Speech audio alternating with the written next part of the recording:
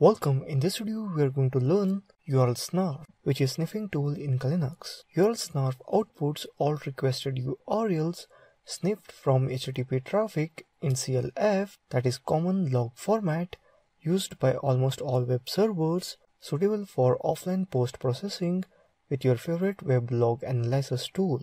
Let's open up terminal and type url snarf space hyphen h. Here you can see that basic usage with options, usage url snarf, options, hyphen i interface, hyphen p pcap file. Let's find out network interface, gateway address and IP address. If attacker just want to see the sniffed URL on the terminal, type url snarf space hyphen i 880. Let's open a browser, open any website, url snarf tool, capture your URL and all information.